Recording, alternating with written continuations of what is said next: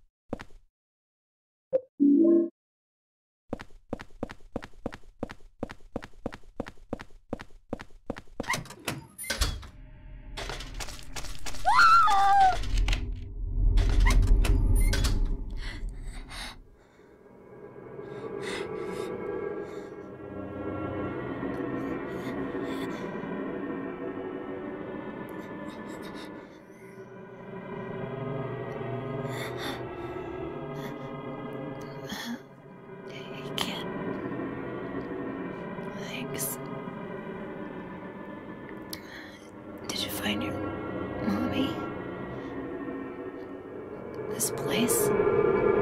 It's dangerous. You need to. Hurry.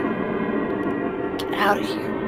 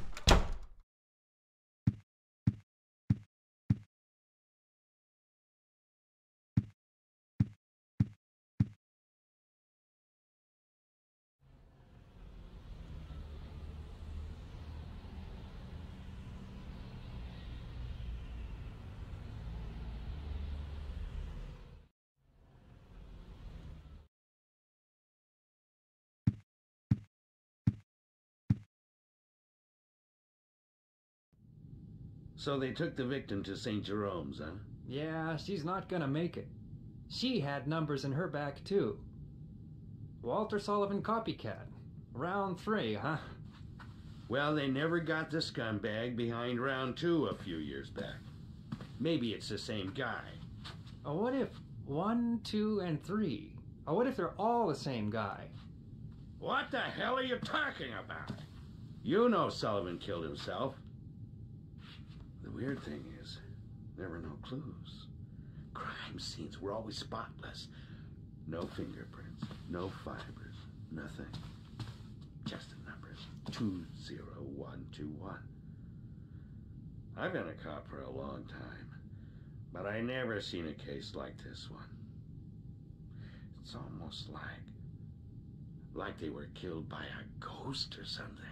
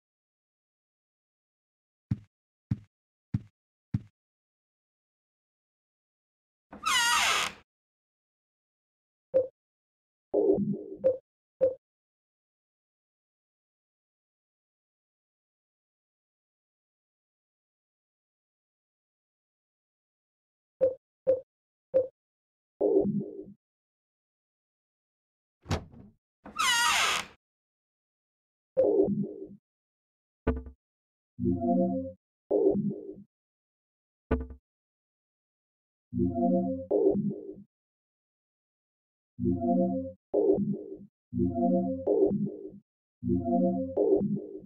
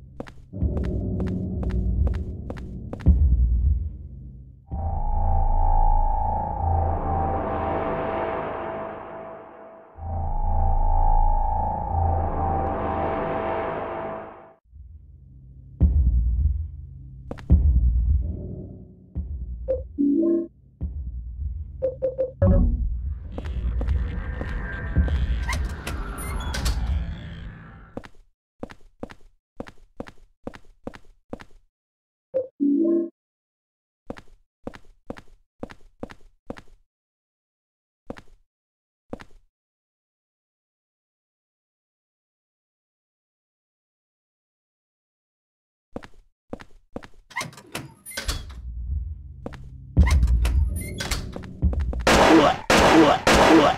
What? What? What?